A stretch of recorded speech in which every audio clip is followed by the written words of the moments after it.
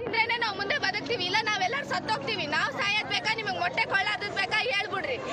ಇಲ್ಲ, ನಾವು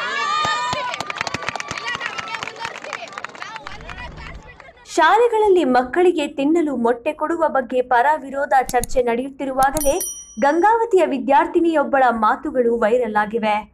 ಶಾಲೆಯಲ್ಲಿ ಮೊಟ್ಟೆ ನೀಡುವುದಕ್ಕೆ ಕೆಲ ಮಠಾಧೀಶರ ವಿರೋಧ ಹಿನ್ನೆಲೆಯಲ್ಲಿ ಎಸ್ಎಫ್ಐ ಹಮ್ಮಿಕೊಂಡಿದ್ದ ಪ್ರತಿಭಟನೆಯಲ್ಲಿ ಭಾಗವಹಿಸಿ ಈ ವಿದ್ಯಾರ್ಥಿನಿ ಮಾತನಾಡಿದ್ದಾಳೆ.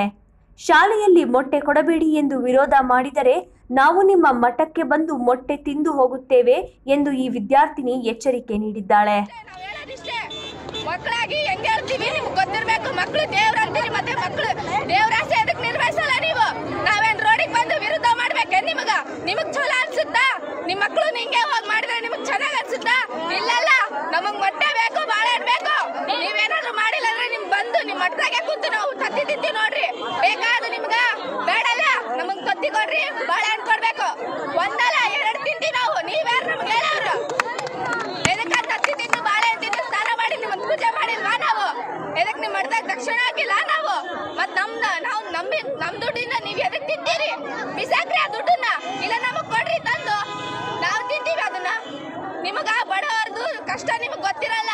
ನಾವ್ ಎದಕ್ ಸರ್ಕಾರಿ ಸ್ಕೂಲ್ ಹಚ್ಚಿರ್ತೀವಿ ಅಂದ್ರೆ ನಮ್ಮ ಮನ್ಯಾಗ ಬಡತನ ಇರ್ತದಂತ ನೀವೇನ ಅನ್ಕೊಂಡಾಗ ಹೋಗ್ಬೇಡ್ರಿ ಇಲ್ಲ ಬರ್ತೀವಿ ನಿಮ್ ಮಠದಾಗ ಬಂದ್ ಕುದಿರ್ತೀವಿ ನಾವು ನಾವು ಕಮ್ಮಿ ಆದವ್ರಲ್ಲ ನಾವು ಒಬ್ರು ಅಲ್ಲ ಇಡೀ ಎಲ್ಲ ಗಂಗಾವತಿ ಜಿಲ್ಲೆ ಎಲ್ಲ ತಾಲೂಕೊಳಗ ಹುಡುಗರಿಗೆ ಕರ್ಕೊಂಬಂದ್ರೆ ನಿಮ್ ಮಠನೂ ಉಳಿಯಂಗಿಲ್ಲ.